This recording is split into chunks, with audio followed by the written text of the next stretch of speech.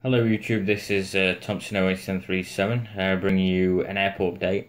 Uh, this update is like pretty big to be honest, uh, there's quite a few schedules in.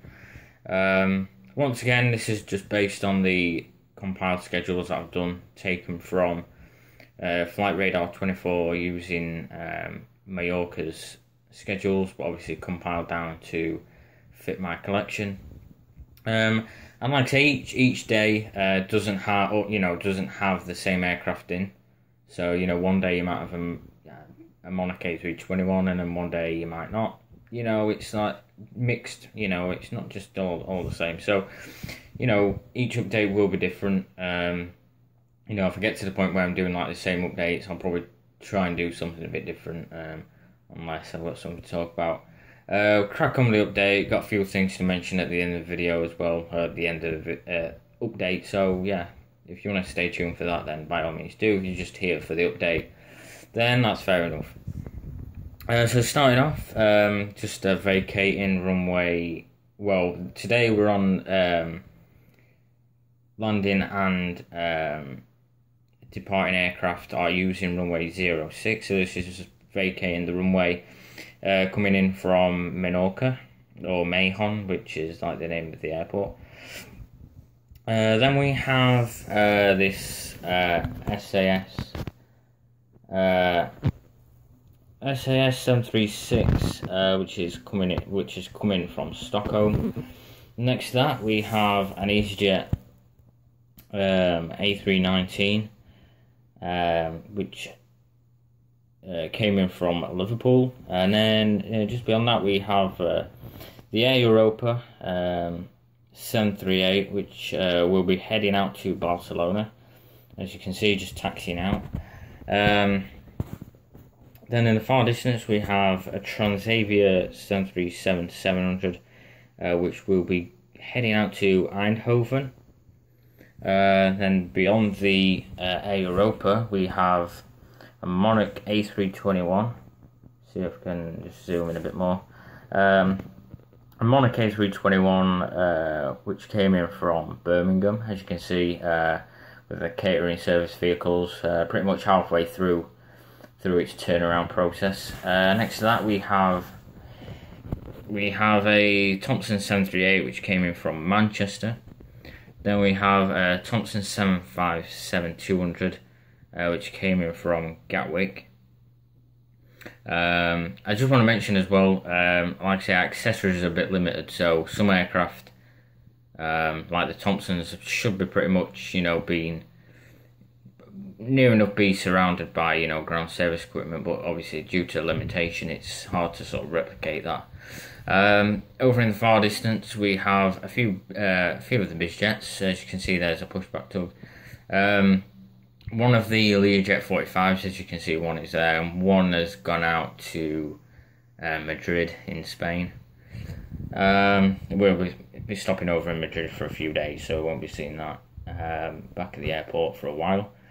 Uh, then we have this um, Iberia CRJ, which is the base aircraft um, at this airport. This will be going out to its uh, daily service to Mallorca.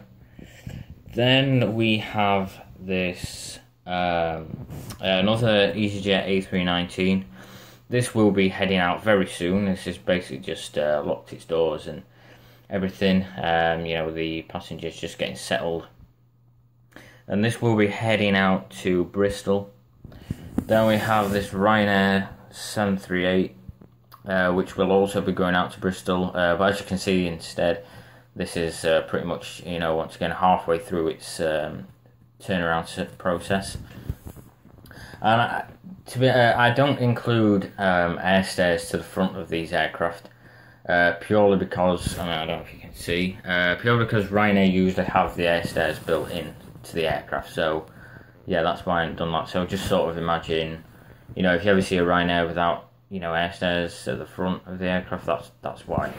Um, then we have this other Ryanair 738 which will be uh, just needs uh, the baggage belt to be moved out of the way, and then uh, we'll be heading out to Billund, and then across the far side of the apron uh, we have this white A310, which um, will also be heading out very soon. This came in um, uh, earlier on as well. Uh, this will be heading out to Lisbon in Portugal.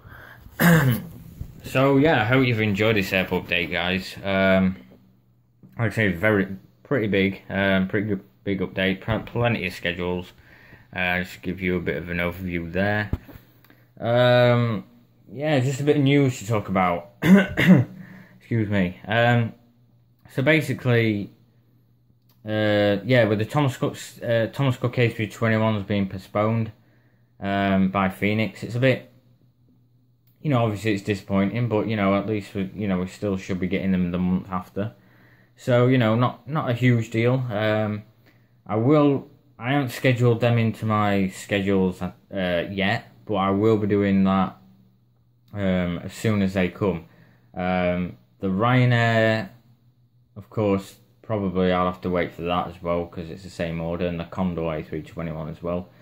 Um, I've already scheduled in the Ryanair, so actually one of these Ryanairs is obviously the, these Ryanairs that I've included in the update are the same, uh, the original Phoenix release, um, but one of them will be swapped with the new one, and basically I'll, you know, I will actually be changing aircraft around. So you know, if I saw it's a bit like with the EasyJets as well. I don't just think, oh, right, there's an EasyJet E319, it's already out of its box, I'll use that.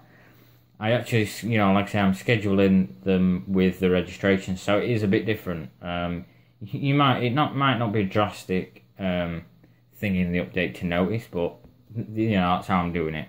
Um, you know, just to keep it like sort of realistic. Um, you know, I don't want to do it too realistic where you think I'm going overboard, but yeah, that you know that's how I like to do things. So, uh, so there's that. Yeah, a bit you know disappointing with the Thomas Cook uh, being uh, postponed, but you know it's not not a huge deal yet. You know, um, you know of course if you know they postponed it again, it'd be thinking. But you know they've done it before, and we've you know. I think it's because it's been such big um, a release that, and they've released other stuff as well that they might think, you know, people might want to spread the cost out a bit to get the most orders that they can possibly get. I, I personally think it's that. Um, I could be wrong. Um, in other news, if you followed me on Instagram, um, you will be aware that I passed my driving test. Um, I've, I've obviously got the certificate, um, so that's what I posted on Instagram. Uh, I've got to wait for my license, but that does actually act as my license now, so I can, I can drive. Uh, I've got my own car. Um, it's insured, you know, we've insured it, taxed it, and got its MOT, passed its MOT. Um, it's just a, a, little Nissan Micra. Um, you know, it's at the end of the day, it's a car. You know, it gets me about and whatever. The only thing is, I can't drive it just yet because I basically I learned to drive in a diesel car, and the clutch um, and setting the gas and finding the bite point and everything like that is it's slightly different. I can move off, but I, I, mean, I drove around like my estate the other day and well yesterday, and I did stall a few times uh, because it. I mean, it's new. You know, it's a new car. You know, it might happen with you know no matter what car you get. You know, I mean, just trying to get used to it. But yeah, the diesel and petrol, it's it is a bit different. So you know, hopefully it shouldn't be too long before I'm on the road. Uh, once I am able to drive, um, obviously I'll be, you know, I'm looking for work at the minute, um, and hopefully a job will come my way. But I'm hoping I'll be able to go down to the airport as well because there's some we've got some pretty decent summer schedules in this year. Um, Air Europa have come back um, using 737-800s. Um, of course. Um, they're flying out to Tenerife. That's just a one, uh, once every Friday. Um, so yeah, that's pretty good. I think that's like a full summer schedule though. So like from May to October, I believe. Um, or it might end a bit short. It might end a bit earlier than that. I'm not too sure. Then we've got Thomas Cook coming back uh, using G Nico A321. Um, then we have uh, Onur Air, which I'm not sure if they are operating for Thomas Cook. I think they did last year. Um, but yeah, that'll be good uh, to see them come back as well. Um, we've got Nouvelair, uh, which will be heading out to Enfida. Uh, I'm I'm not sure if they are part of Thomas Cook as well. I'm not too sure, but yeah, uh, Nouvelair's you know a pretty good airline to see as well. So so yeah, summer schedules are pretty good at Doncaster because during the winter it's, it is pretty dead unless we get something uh, like a cargo aircraft. Uh, I mean, we recently had an Atlas Air seven four four, and we have we've had a few. We had an Antonov uh, twenty six um, the other day. You know, we, we get all sorts of stuff throughout the year, but you know, summer schedules because it's like a regular thing. It's uh, you know, it's a bit better. You know, you don't have to sort of traipse all the way to Manchester to see a good. Uh, I mean, it's not too busy where you can stop there all day, but you know you've got more reason to go rather than just seeing like you know even you know even the winter Thomson are pretty dead. Um, they don't really operate that much um, compared to what they used to. I don't think anyway. Wizz Air operating more flights than probably any other airline. Um, I mean, Flybe, I don't think they operate in winter. Um, they they're using the ERJ one seventy or one nine five uh, at Doncaster. I think it's the uh, the one seventy. I think, or it could be the one nine five. I'm not sure. But yeah, they operate on Saturdays. Um, but like with the Flybe, I think it's just like one schedule. You know, nothing else comes in or anything during that time. So it's a bit like, well, yeah, I'll be going down to see that aircraft, but it'd be good, you know, to have a few more scheduled within like an hour or something. Because that's how it used to be. We used to have like, you know, you know, in the summer months, we used to have like eight aircraft come in within an hour. It was just like, or you know, two hours. It was just, it was just crazy. Uh, I mean, we've got like a total of eight stands. You know, not everyone gets used, but you know, back in the day, there'd be like four on on the apron, then they'd like come out and all that sort of thing. So yeah, that'd be great. So yeah, if I you know get used to sort of driving my car, um, get used to the bite point and the clutch, then uh, hopefully you know I'll be uploading some uh, you know content at the airport and stuff like that. Um, like I said, I've just got to get used to the clutch and stuff around you know my estate. Then I'll probably venture out a bit more and until I get you know really confident with you know, the new, um, you know, like the new control, I suppose you might call it. Um, because I'd say driving the diesel is, I'd say it's a bit easier, but obviously diesel cars, you know, are usually a bit more in cost, uh, you know, fuel and whatever. Um, so yeah, I just want to say, you know, thanks for watching, guys. Um, so that's a bit of news for you. Uh, so good news, you know, I passed my driving test. I've just got to get used to my own car now. Um, um, hopefully, you know, like I say, I'll get a job soon as well. And uh, hopefully, you know, we'll continue seeing some great releases uh, that I can show you guys on this airport update, uh, on this airport and Manchester.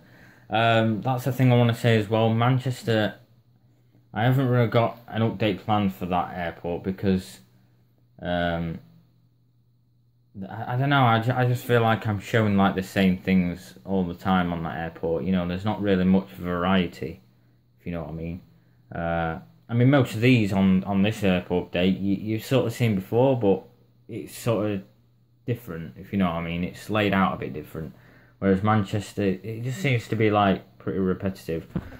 Uh, but whatever. Um, you like I I probably won't be doing an update this week. Um, if something you know comes into Manchester in real life that's a bit you know interesting, then you know, like I say with the summer schedule starting, then I'll probably do something along that line. So stay tuned, um, and obviously if I do do one, of course I'll upload it and etc. Um, thanks for watching, guys. If you've got any questions, comments, uh, please post them below or send me a private message.